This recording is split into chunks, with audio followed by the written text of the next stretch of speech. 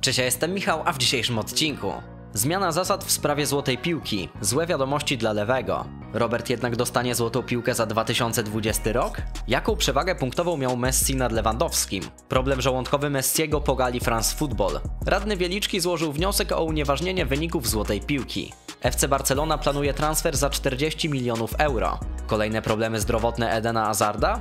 Kochani, mamy pierwszy dzień grudnia i wpadłem na genialny pomysł. Co wy na to, żeby do Wigilii Bożego Narodzenia albo do 23 grudnia zrobić daily, codziennie filmy, nawet w weekendy?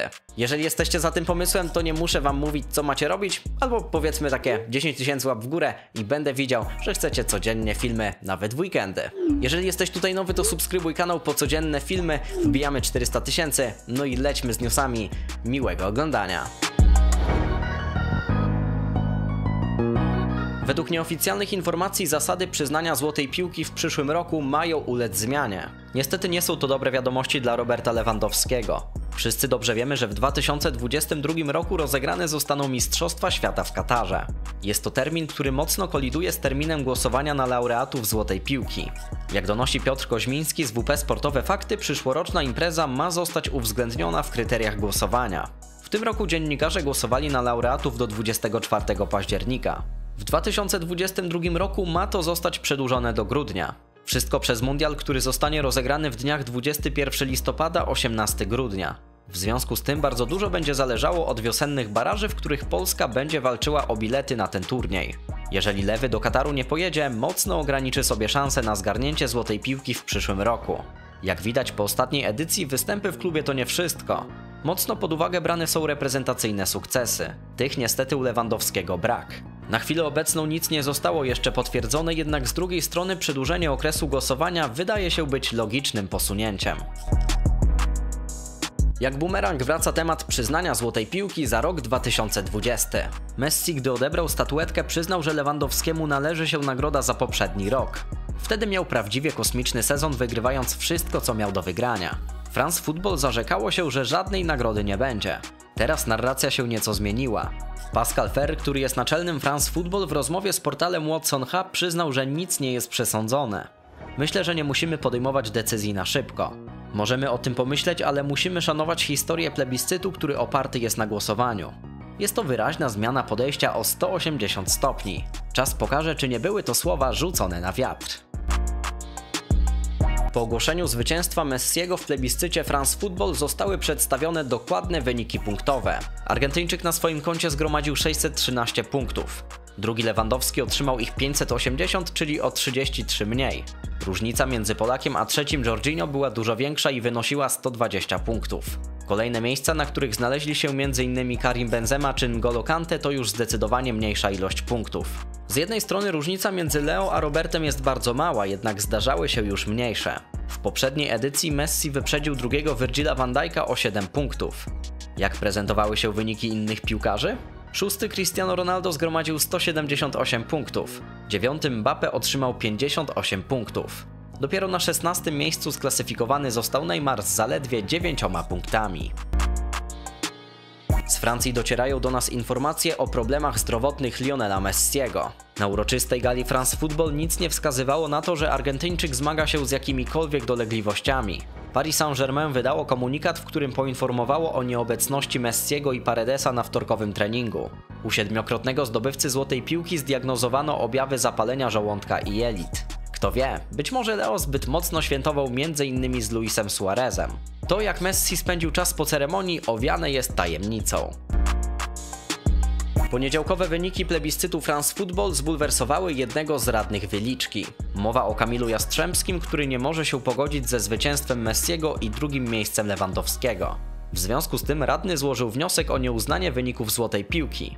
W nim możemy m.in. przeczytać. Klasa Roberta Lewandowskiego jest niepodważalna i znana prawie każdemu, kto ma pojęcie o futbolu. Wielokrotnie bił się o najbardziej prestiżową nagrodę indywidualną w tej dyscyplinie, czyli tak zwaną złotą piłkę.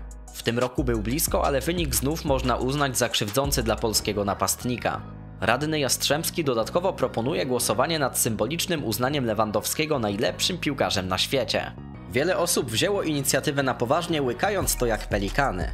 Dzień później radny Jastrzębski przyznał, że był to tylko i wyłącznie żart dla podbicia zasięgów.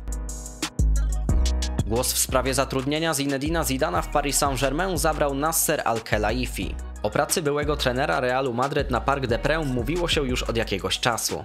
Plotki nasiliły się w momencie zwolnienia Solskiera z Manchesteru United. Wtedy rozważano Mauricio Pochettino na Old Trafford, którego miałby właśnie zastąpić Zidane.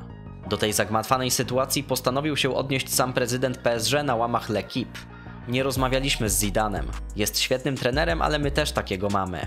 Nasser został później jeszcze zapytany o współpracę z Francuzem w przyszłości. Al-Khelaifi skwitował to jedynie uśmiechem.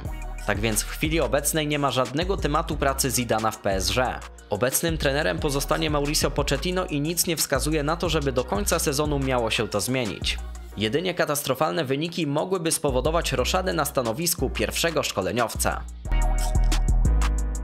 FC Barcelona, żeby wrócić na piłkarski szczyt, musi przeprowadzić kilka transferów. Według nieoficjalnych informacji Duma Katalonii chce wykupić Karima Adeyemiego z austriackiego Red Bulla Salzburg. Operacja ta może być dość kosztowna. Włodarze klubu liczą się z wydatkiem rzędu 40 milionów euro. Taka właśnie oferta miała wpłynąć do Austrii. Blaugrana widzi w tym 19-latku ogromny potencjał i chcą poświęcić wiele, aby mógł zagrać na Camp Nou. Oczywiście, aby móc zrealizować taki transfer, będzie konieczne pozbycie się któregoś z piłkarzy na wysokim kontrakcie. Oprócz wspomnianego Adeyemiego monitorowana jest sytuacja Daniego Olmo oraz Ferrana Torresa. FC Barcelona planuje transferową ofensywę, jednak przez obecną sytuację finansową może to być bardzo trudne do zrealizowania. Ostatnio pojawiły się niepokojące informacje dotyczące zdrowia Edena Azarda. Na portalu Goal.com pojawił się artykuł autorstwa Mario Cortageny, w którym dziennikarz donosi o drobnym urazie mięśniowym Belga. Piłkarz zmagał się z wirusowym zapaleniem żołądka. Ma to już jednak za sobą, lecz nie pracuje na 100% na treningach. Cortagena twierdzi, że to przez problem mięśniowy. O sytuację Azarda został zapytany sam Carlo Ancelotti na przedmeczowej konferencji prasowej. Włoski szkoleniowiec starał się wszystkich uspokoić. Nie miał problemu mięśniowego, miał zapalenie żołądka i wiele go to kosztowało. Rodrygo też to miał i też ciężko to przeszedł. Rodrygo dzisiaj trenował, ale nie jest w najlepszej dyspozycji. Azart miał to samo, nie było nic innego, spokojnie. W związku z tym był to tylko fałszywy alarm. Eden spokojnie wraca do optymalnej formy. Dobra informacja dla kibiców Polonii Warszawa oraz dla samego klubu. We wtorek władze stołecznego miasta podpisały umowę na zaprojektowanie nowego obiektu, który będzie służył czarnym koszulom. Powstanie zatem nowy stadion, który będzie mógł pomieścić 15 tysięcy kibiców. Dodatkowo powstanie hala sportowa o pojemności 2000. To tylko część z inwestycji. Tak skomentował to Bartłomiej Dryl, członek zarządu Polonia SA. To ważny dzień dla społeczności Polonii, ale także dla całej sportowej społeczności Warszawy. Po wielu latach oczekiwań pomysł budowy stadionu Polonii stał się faktem. Najważniejszym celem każdego wielkiego klubu jest osiągnięcie stabilności finansowej. Naszym głównym sportowym celem jest awans do ekstraklasy maksymalnie do 2029 roku. Obecnie Polonia Warszawa gra w trzeciej lidze i walczy o awans. Obecnie zajmuje trzecie miejsce, tracąc do lidera 6 punktów. Kartka z kalendarza.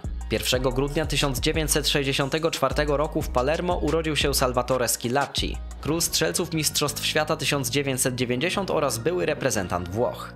Tego samego dnia 1974 roku w Lizbonie na świat przyszedł Costinha, były reprezentant Portugalii oraz były piłkarz m.in. FC Porto. 1 grudnia 1992 roku w Amersfoort urodził się Marco van Hinkel, ośmiokrotny reprezentant Holandii oraz zawodnik PSV Eindhoven. Dzięki za uwagę, widzimy się jutro o 6. Do zobaczenia!